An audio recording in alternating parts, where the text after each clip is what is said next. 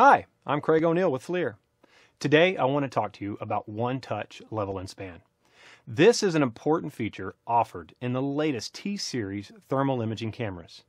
This feature is valuable for low contrast scenes, in areas where you need to single out a small target against a large area with a consistent temperature. This helps you to improve contrast very quickly. If you've ever had an infrared camera where you needed to utilize a manual level and span. One touch level and span is going to be the feature for you. Let's show you how it works. First, with your FLIR T-Series camera, simply tap the temperature scale button on the bottom right of your screen. This will take your T-Series camera from automatic to manual level and span. Once you've done that, simply tap anywhere on the screen and you'll see about a dime-sized circle show up on the screen. The camera will adjust the temperature level and span to the hottest and the coldest scene inside that circle.